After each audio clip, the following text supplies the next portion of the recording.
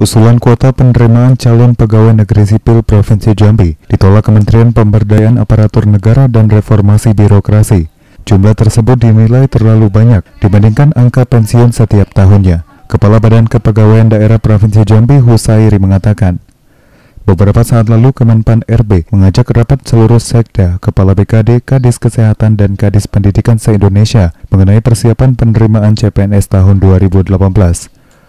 Husairi mengatakan pemerintah Provinsi Jambi sebelumnya mengajukan kuota penerimaan sebanyak 4.432 posisi, sementara untuk kabupaten kota di Provinsi Jambi secara keseluruhan mengajukan sekitar 16.100 posisi. Total usulan yang diajukan untuk mengisi tiga formasi, yakni tenaga pendidikan, tenaga kesehatan, dan tenaga infrastruktur khusus untuk pemerintah Provinsi Jambi. Menurutnya yang semula mengajukan 4.432 posisi. Berdasarkan hasil rapat Kemenpan RB merekomendasikan meninjau ulang jumlah tersebut. Jumlah usulan harus berdasarkan angka pensiun setiap tahun. Sedangkan rata-rata jumlah pensiun untuk pemerintah Provinsi Jambi setiap tahunnya sekitar 350 orang.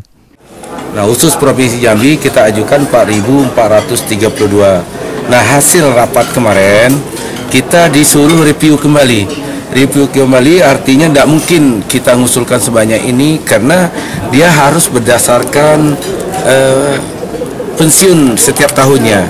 Nah, untuk Provinsi Jambi setiap tahun itu rata-rata pensiunnya 350 orang. Juanda Praetno, Jack TV melaporkan.